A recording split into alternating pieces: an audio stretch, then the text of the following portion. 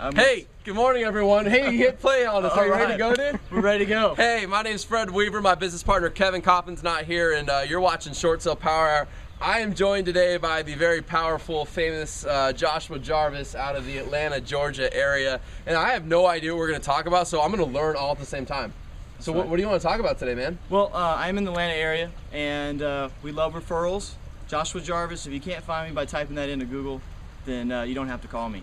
So, Always the salesman, and Drew and Dustin. I'm sure you'll put his information below here because I love this guy. all right. Well, uh, so I was talking to they- They've got the outback mindset, but see, the bank has another mindset. It's called the no mindset, and what that means is that every time that you send a file in, you you just taught about this great class. You said.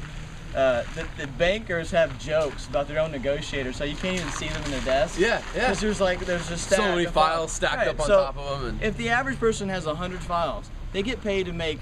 They get paid to approve short sales. No. Is that what you taught? No, No, they very frequently get bonuses. Very, very small percentage of them. But you said I think you said they got paid to make decisions.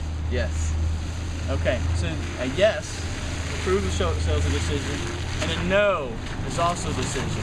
So if you got an employee that's making a low amount of money, and all they have to do is make a decision, what they're looking for in your file is the quickest way to make that decision. Yep. So if you don't have a complete file, and if you're not following up, the easiest way to do that is just decline that. So this is why you have to have the complete package like you guys were talking about. And I've got a case in point where uh, I was actually telling uh, a new hire that we had on the way up here about this about this file that we've got, where the closing happened, and the uh, they, this guy had a HELOC on it. It was zeroed out, but they didn't subordinate it. So we're getting ready to do the short sale, and Wells Fargo is saying, "Hey, we deserve this amount of money," and USAA was in first position saying, "Hey, no, we deserve this money.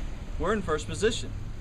Long story short, after several phone calls and doing the nice day, day, day phone call, and going through the litigation team and everybody else, we're going to be closing on that at the end of this month. Nice. And USAA has sent not one, not two, not three, but four times have they tried to record this release that says that their client doesn't owe the money.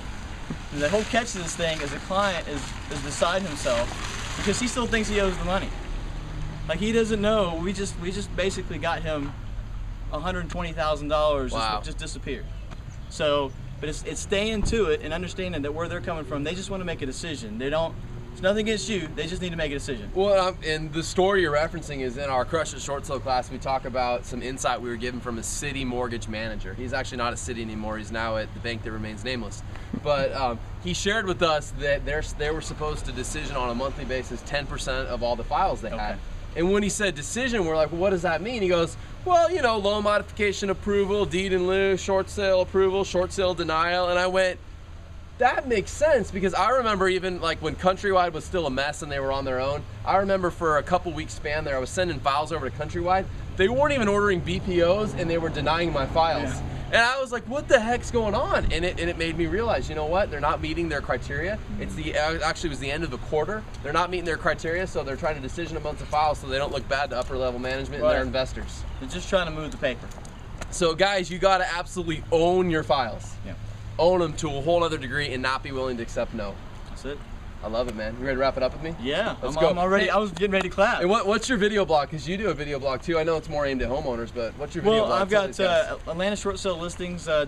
is where we have all of our video blogs. We've closed Okay. over 100 short sales in the last three years. Wow. Uh, we were doing it when it wasn't cool. yeah. Um, so that's you're gonna find a lot of information on there. But we've also started other ones like AvoidAtlantaForeclosure.com that's really geared towards homeowners and doesn't just contain all the all the short sale information. So Sweet. Well, you know our web guys because they've helped you out and done some stuff. So Yeah. I'm sure they'll they'll promote all your stuff down here below. Josh Jarvis from Atlanta, Georgia area. Check him out if you need any help down in that area. And we're gonna wrap it up. One, two, right. three. Short Short sale sale power hour. Short sale power hour. Crush it.